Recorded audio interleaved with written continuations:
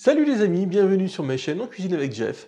Aujourd'hui, on va faire une petite tarte aux pommes et au camembert, un vrai produit de saison. Si t'es pas abonné, eh ben je t'en prie, abonne-toi. Plus on est de fou et plus on rit. Et si la vidéo te plaît, n'hésite pas à mettre un petit pouce bleu, ça fera plaisir. Cette recette est la recette euh, de la chef Nina Métayer, une recette issue du livre À la maison, un livre écrit par Victoire Lou. Tous les bénéfices sont reversés à une asso caritative de l'aide alimentaire. C'est une noble attention, il y a une soixantaine de chefs qui ont participé à ce projet et ça a été fait pendant le Covid.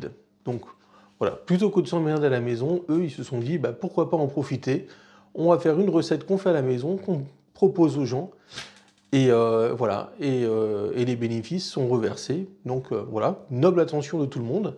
Donc bravo à tous. Et du coup, on va attaquer. Alors, on va commencer par étaler notre pâte brisée. La chef Nina Métayer propose une pâte brisée euh, euh, à base de légumineuses ou de farine complète. Bon, moi j'ai fait une pâte brisée normale, euh, tout simplement parce que ma farine complète, vu que ça faisait un bout de temps que je m'en servais pas, quand je l'ai ouverte, j'ai vu qu'il y avait des petites bébêtes dedans.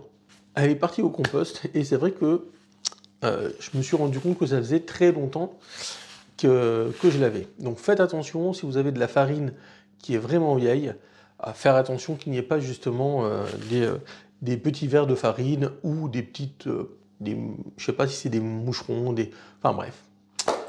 Donc voilà, le sac entreposé au garage, ben, en fait, on a tendance à l'oublier un peu trop facilement, et ça a été mon cas. Donc j'ai pris une farine basique, j'ai fait une pâte brisée basique, normale, vous avez la recette là, si vous voulez regarder. Voilà, notre pâté est allé. Maintenant, on la pique.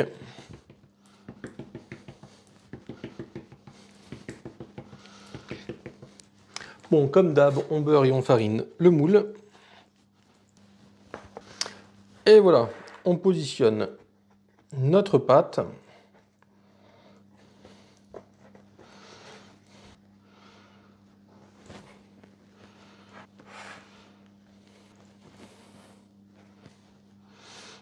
Allez, hop, on coupe tout l'excédent.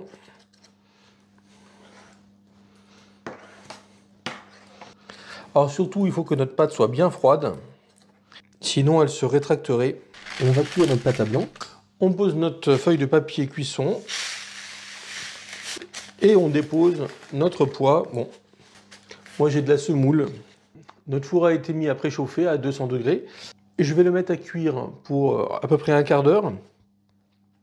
On surveille euh, vraiment la cuisson de la pâte. Il faut qu'elle commence à être dorée.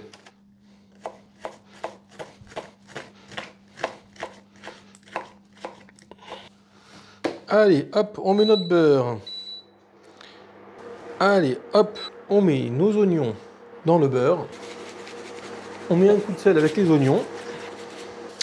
Bon, c'est la pleine saison des pommes. D'ailleurs, je remercie euh, Daniel pour euh, ces super pommes. En général, quand on a un pommier au jardin, c'est facile. C'est ou alors il y en a plein partout, ou alors il donne pas. Mais la plupart du temps, il y en a plein partout. Donc, euh, on va se mettre à les éplucher. Et comme c'est des pommes du jardin, on va vérifier qu'il n'y ait pas de la viande avec.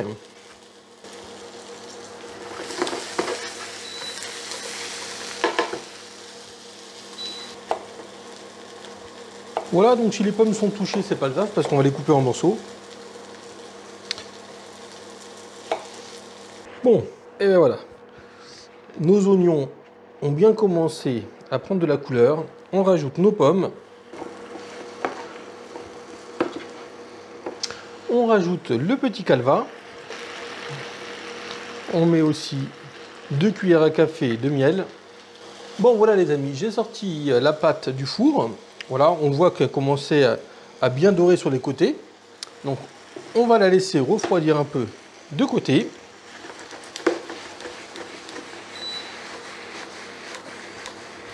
Dès que les pommes sont fondantes, euh, c'est le moment euh, d'arrêter la cuisson.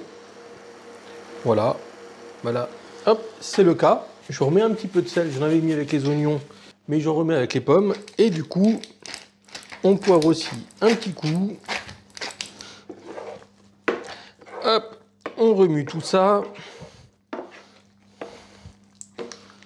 On sort notre tarte et on va mettre nos pommes et nos oignons dessus.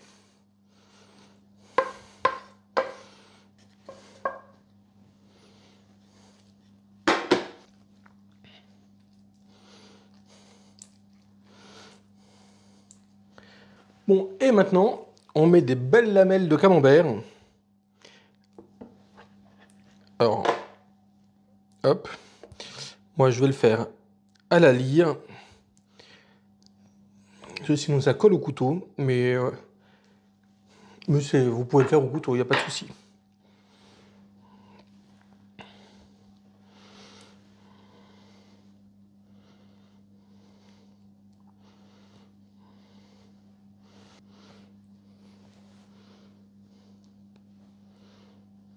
Bon voilà les amis, si ça n'a pas l'air gourmand ça. On va mettre ça au four 10 minutes, le temps que ça finisse de cuire.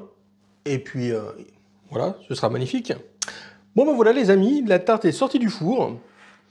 Et euh, franchement ça sent bon. J'ai qu'une envie, c'est de goûter ça. Si toi aussi ça te donne envie, n'hésite pas, pouce bleu. Encore merci à Daniel pour ses pommes. ça change de la compote de pommes, de la tarte aux pommes. Et euh, il me reste encore des pommes. Je sens que pour la prochaine, une petite tarte tatin, ça peut être pas mal.